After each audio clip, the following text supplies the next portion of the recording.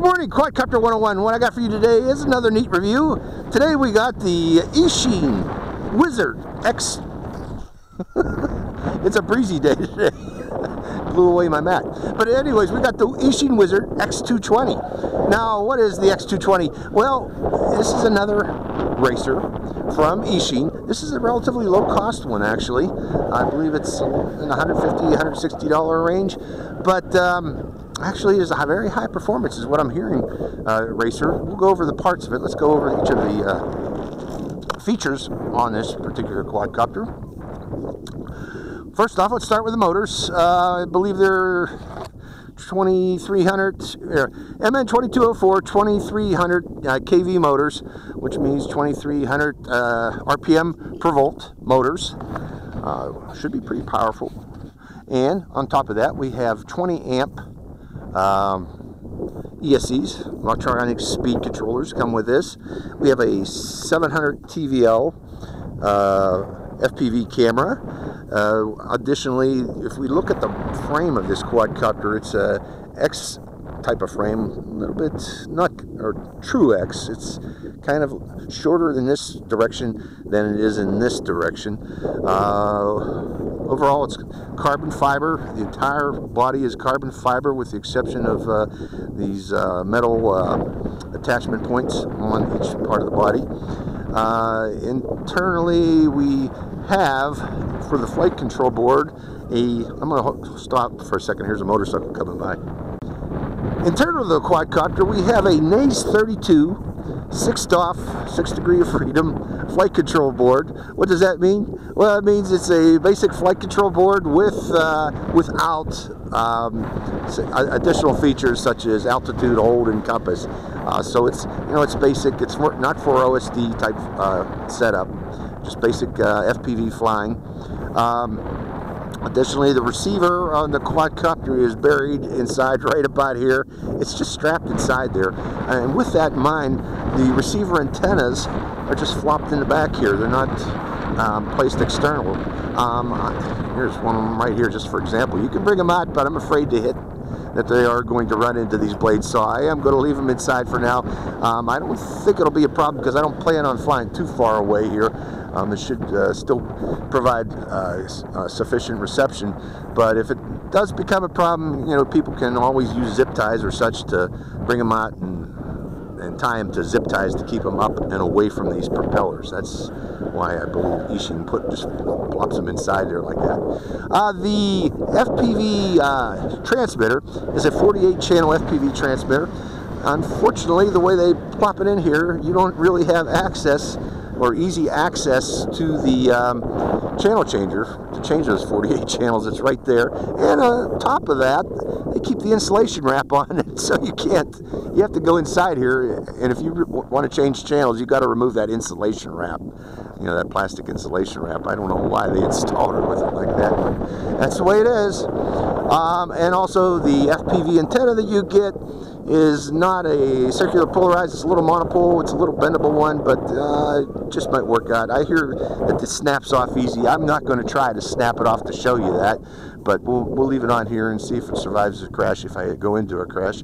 Uh, the battery you get for it is a uh, 3S. They give you a 3S battery. I believe it's 1500 milliamp per hour. We'll confirm that right now. Yes, 1500 milliamp per hour battery. Uh, one thing about that, there's little bolts up here where this battery is placed. I put a little bit of uh, foam, shipping foam there, just to protect that battery to keep it from uh, getting dinged up by those protruding bolts. So that should, this actually should work relatively well. And on top of that, I put a little bit of Velcro on top here so I can put my uh, 808 keychain camera in so we can get aerial video of the flight. Let's go over the controller the controller I have some issues with. Um, this one's not a rebranded FlySky i6. It actually is a FlySky i6, finally. People stop putting their names on there. And leave it what it is, an FS-i6. Uh, one thing though, none of these switches are uh, configured inside here. Only these two here are available, uh, switch C and uh, switch D. And on top of that, I went into CleanFlight to see what type of setup we had here. According to the manual, this is supposed to be horizon mode, switch C. You know, switch C is the only one that's actually programmed, but switch C is supposed, uh, position one supposed to be angle mode, I'm sorry, center position horizon mode, and bottom position um, rate or um, acro mode.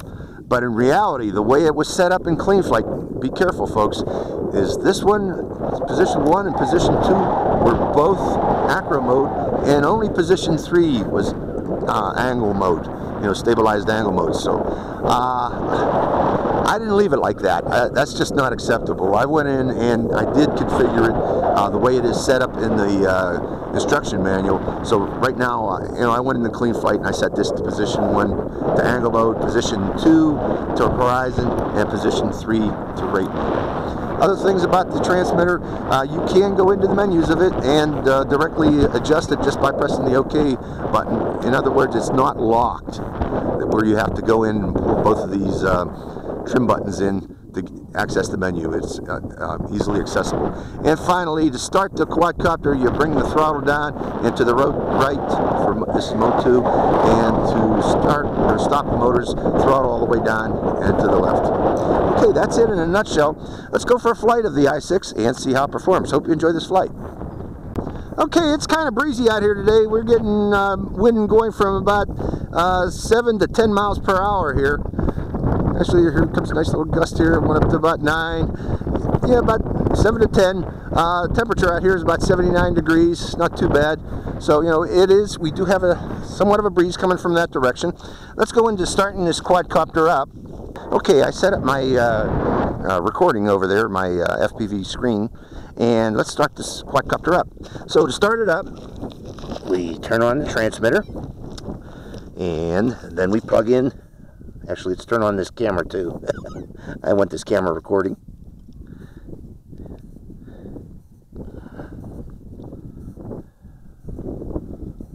Camera is recording.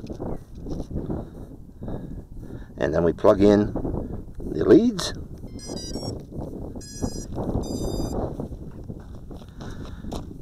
And we should be good to go. Again, I'm going to start in angle mode.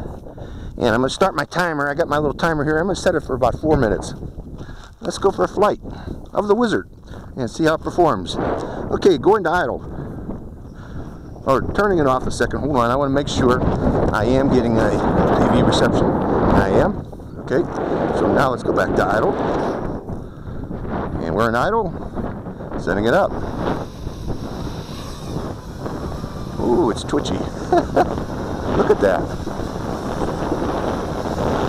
The rates are set real high on this in idle, or in acro, not acro, in, in angle.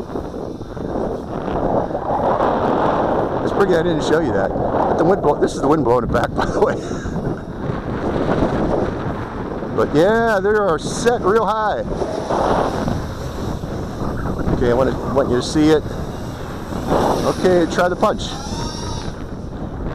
Okay, it's got a little punch here. Let's bring it down again. I want to get the feel for this before I go flipping it around like that. Yeah, this is one of the most uh, agile settings I've seen on a uh, quadcopter in stock condition, the way it's set up. Get the feel for it. Okay, not super punchy, but it's okay. Mind I got a 10 knot wind too, 10 mile per hour wind. Okay, not super punchy, but it's okay. It's actually okay. Okay. Feel for this thing. I want to keep it close so you can see it.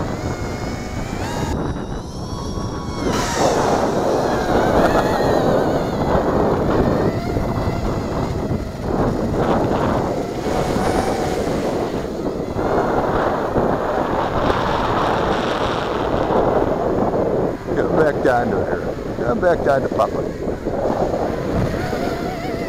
those lights are confusing on that. Let me bring that in. Something's not, not right with those lights.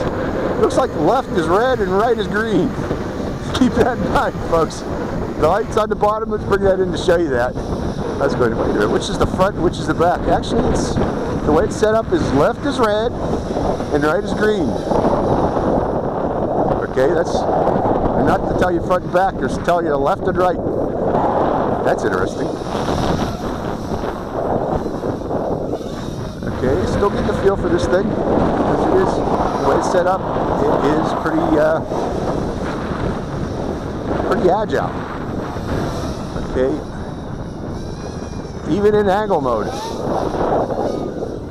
Actually, it's kind of fun, actually, once you get the feel for it a bit.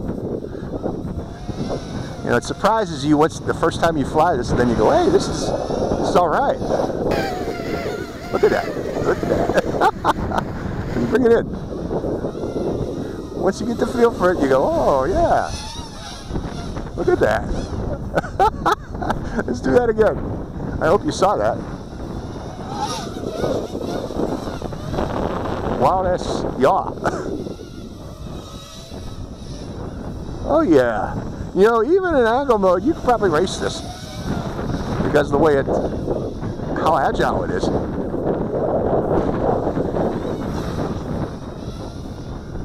Okay, let's go over the plains.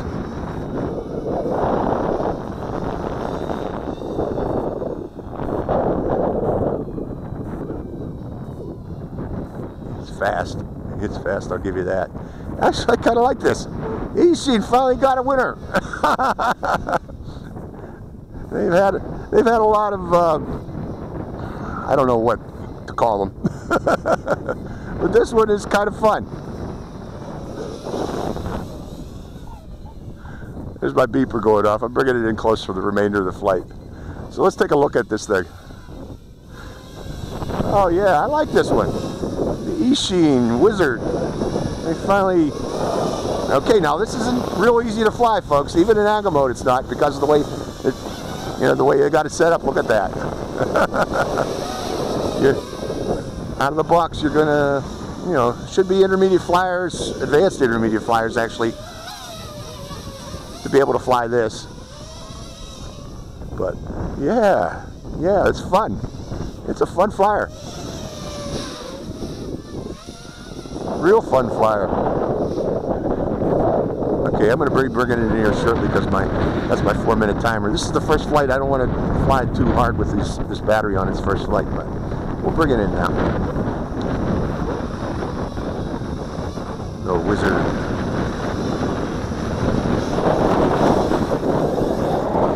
Oh, I like this one. Yeah, I like it. Eachine, good job. Okay, let me turn off the camera. Uh, let's see here. Camera off. Stop recording and unplugging the battery. So, what are my thoughts? Um, it's an excellent flyer. Darn excellent flyer. Even in angle mode there, uh, it's very, very aggressive.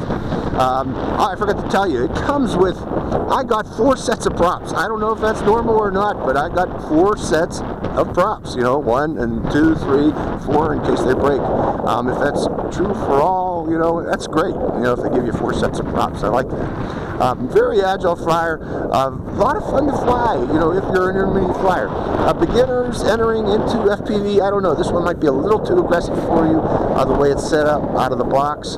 Um, I know it, it is going to be a little too aggressive for you, so I wouldn't recommend this for beginners trying to enter into FPV. But for intermediate flyers and, uh, you know, that have flown um, um FPV racers before and are looking for another nice cheap one to add to their collection, yeah, I like this one. It's, it's a lot of fun. So I hope you enjoyed this flight. I did. It's Quadcopter 101, signing out.